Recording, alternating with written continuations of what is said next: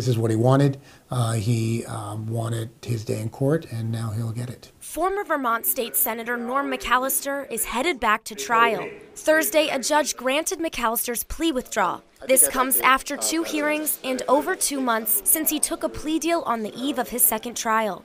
He claimed his former attorneys Brooks McArthur and David Williams pressured him to take it, but both denied those claims on the stand. Now McAllister has a new lawyer representing him. I believe the court based its decision on what kind of the uncontroverted facts were, which were that this was a deal that happened um, at the last minute, and that that in and of itself put a tremendous amount of pressure on Mr. McAllister to the point where he didn't fully understand uh, what was happening. Had the plea deal remained in place, the sexual assault charge would have been dropped, and McAllister would have received less jail time. I think what Mr. McAllister has said from, from the beginning is that um, he's uh, innocent of these charges. Uh, he he uh, is prepared to put that before a jury. Attorney Bob Kadam says the court wants to set the trial date soon, looking at the next available jury draw dates. In St. Albans, Abby Isaacs, NBC5 News.